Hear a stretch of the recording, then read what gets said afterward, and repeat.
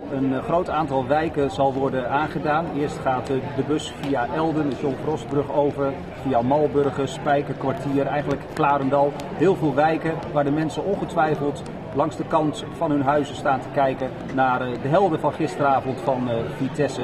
Dus eh, het wordt een hele mooie rondrit, 17 kilometer lang, door heel Arnhem. En dan uiteindelijk komen ze aan bij de markt in het centrum. En dan zal de huldiging ongeveer zo tussen 8 en 9 gaan plaatsvinden. En dan wordt het natuurlijk helemaal één groot feest met Guram Kasha die de grote beker, de dennenappel zal optillen. En dan komt iedereen denk ik aan de beurt. En wij zijn er natuurlijk uitgebreid bij.